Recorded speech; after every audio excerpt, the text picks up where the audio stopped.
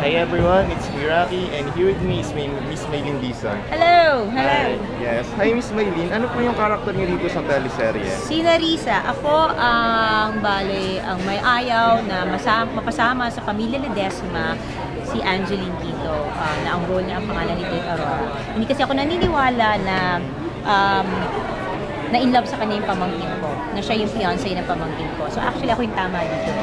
So.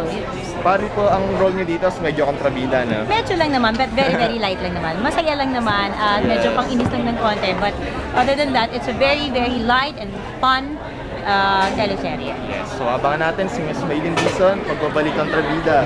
From Mara Clara, then Budoy, then Yes. kahit konting pagtingin. Maraming salamat.